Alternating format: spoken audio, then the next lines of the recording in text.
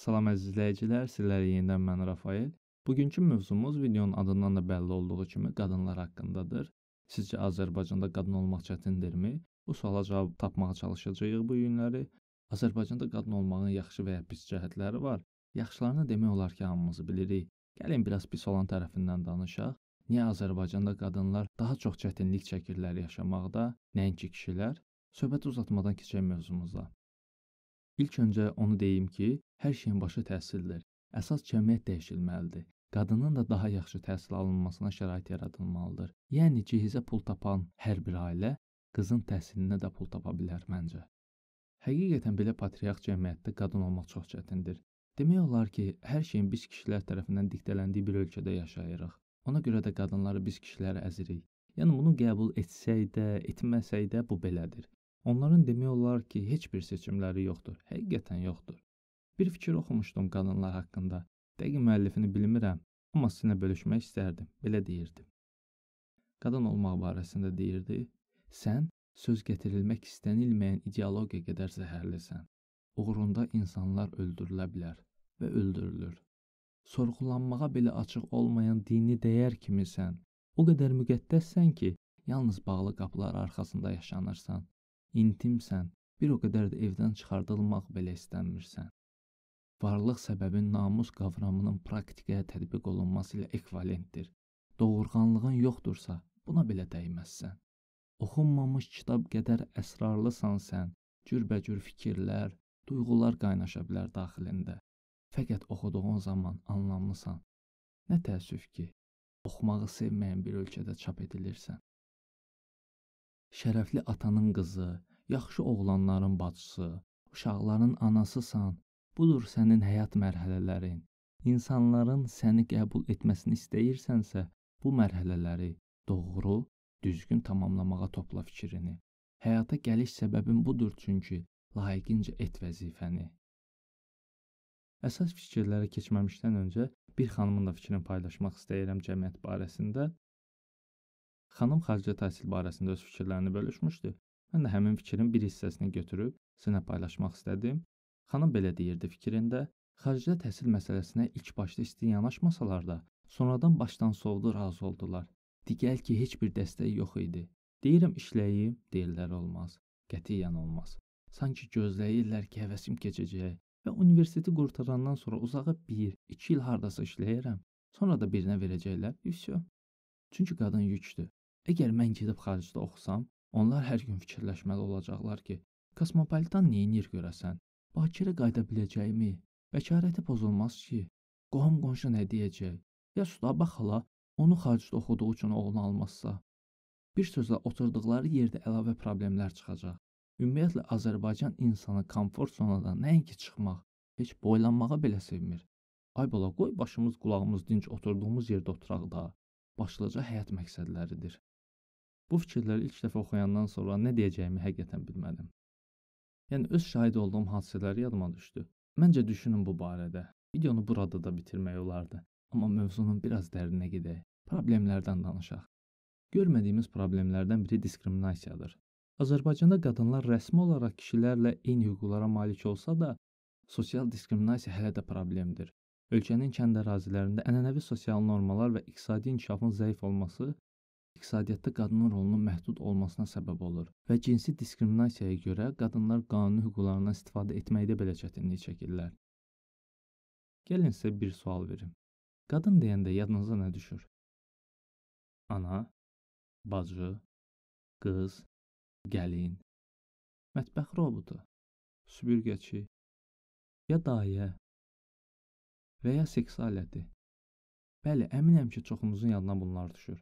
Halbuki qadın bütün bunların daha artığıdır. Bir qadın yuxarıda sadaladığım etiketlərdən hər hansısa birinə sahib olmadıqda, məsələn, heç evlənməyəndə, ailəsindən ayrı, öz istədiyi kimi yaşayanda və ev işləri görmək əvəzinə təhsil alıb işləmək istəyəndə və ya dünyanı gəzmək istəyəndə asi, əxlaqsız damğasını yeyir. Son vaxtlarda qadın necə olmalıdır sualı həqiqətən dəbə minib Hər kəs də bu suala bayağı cahil cavablar verir. Qadın zərif olmalıdır, qadın evdar olmalıdır və s. kimi cavablar. qadına zərif etiketi yapışdırmağa heç kimin həqiqətən haqqı yoxdur. Qadınlar heç kimə borclu deyillər zərif olmaq barəsində. Qadın necə istəyir elə də olmalıdır. Çünki o da bir şəxsiyyətdir. Yəni onun da seçim haqqı var. Əslində hər şey bu qədər sadədir. Amma ən böyük dərd də budur ki, qadınlara bu cür qadağalar qoyan insanların çoxu bu yerdə bu ölkədə inkişaf yoxdur deyən dayılar, əmmilər və qoca xalalardır. Unutmayaq ki, qadınların azad və təhsil olmadığı hər cəmiyyət geridə qalmağa məhkumdur. Azərbaycanda qadın olaraq doğulmaq həyata 1-0 məğlub başlamaq kimidir. Bəlkə də kimlərsə dərhal fikrimə etirazını bildirəcək. Qadınlara verilən yüksək hüquqlardan bəhs edəcək. Haqlıdırlar. Problem qanunlarda deyil, özümüzdədir, özümüzdə. Özümüzün yaratdığımız maneələrdə, əngəllərdə, adına mentalitet dediyimiz daxili zindanımızda. Kimis övladı dünyaya gələndə, yəqin ki, şahid olmusunuzsa, oğlan gəlibsə, ay maşallah, pəhlivandır, kişidir, igiddir, düşmən cəbhəridir, oğlandır, ey oğlan. Qız doğulunca az qala baş sağlığı versinlər. Gələn dəfə oğlan olar, tək əl ayağı düz olsun deyib həqiqətən elə bir baş sağlığı verirlər. Gender bərabərliyində yol verdiyimiz səhvlər hələ körpə dünyaya gəlmədən onun valideynləri və cəmiyyət tərəfindən başlayır. Həqiqətən hər şey doğum evində başlayır. Yəni əcəba insanın cinsiyyət orqanı bədənindən ayrı yerləşirmi ki, buna belə biz ayrıcalıq tətbiq edirik? Bəlkə məsələ cinsiyyət orqanında nəsə problem aşkarlanacaq. Oğlunu öz anasına sataraq xoş gəldin edirik dünyaya. Üstəlik doğum evlərində 100% şahid olmusunuz, oğlan doğulanda bunun şirinliyi qızdan qat-qat daha bahabaşa gəlir. Yəni bu qayda ilə tərbiyə olunan balaca vəliəhd hər zaman qadının üzərində dominatlıq etmək hissiyatı ilə böyüyür. Zaman keçdikcə yeniyetmə oğlanın yol verdiyi xətalar şuluqluq, qızınki isə ömürlük damğa qara ləkə adı alır. Yəqin ki, bir tək Azərbaycanda qadın bir xətanın cəzasını ömrü boyu ödəməklə yaşayır. Bu xətanın adı sevgi olsa belə. Onu üz qarası kimi yaşayır Azərbaycan qadını. Anaya, bacıya, həyat yoldaşına qayğı göstərməyi sahiblənmək anlayışı ilə əvəz etdiyimiz üçün sahib istədiyi qadağanı tətbiq edə, üzünə ağ olan qadına isə asi, əxlaqsız deyə bilirik. Biraz da qadın azadlığından danışaq. Qadın azadlığından söz açarkən Yalnız paytaxtda yaşayan xanımları göz önünə gətirsək, məncə demək olar hər şey əladır. Burada istisnalar xaric heç bir problem yaşanmır demək olar ki. Amma Bakı ilə regionlarımız arasında çox böyük fərq var. Qadın kişi fərq etməz. Hər bir insanın özünü fərd kimi güclü hiss etməsi üçün ilk növbədə iqtisadi vəziyyəti qənaətbəxş olmalıdır. İqtisadi asılılığı olan insan əlbəttə ki, bir tikə çörəyi üçün çox şey boyun əyməyə məcbur olur, xüsusən də qadınlar. Onlar kişilər kimi qazanc dalayıca başqa rayonlara, şəhərlərə, ölkələrə çıxıb gedə bilmirlər. Öz gücünə inanan, ayaqları üstə dayanmağı bacaran qadın onu əzən, sıxan qandallardan qurtulmağa özündə güc tapa bilər. Ailə içərisində qız uşaqlarının təhsilinə, peşə, sənət öyrənməsinə xüsusi diqqət yetirmək lazımdır. Qanadına güvənən quş qonduğu budağın sınmasından qorxmaz deyiblər. Cahil bir ana cahil balaların, cahil cəmiyyət üzvlərinin yaranmasına səbəb olur.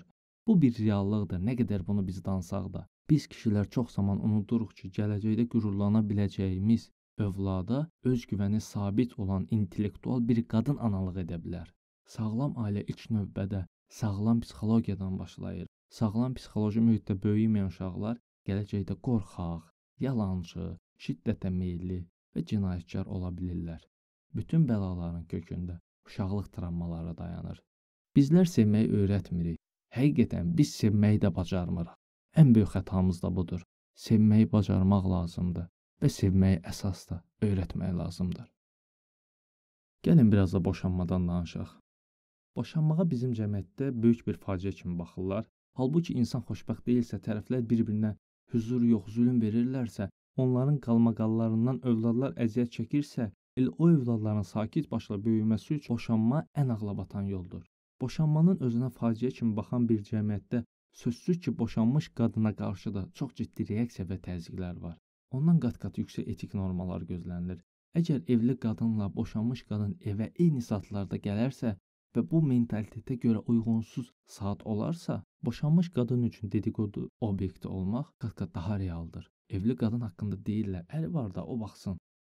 Boşanmış qadın əxlaqla bağlı hər zaman sorğu-sual olunur. Evli və ya subay qadınlara qarşı da qısnama halları olur. Amma boşanmış qadına əxlaqsız təklif normal bir şey kimi təklif olunur.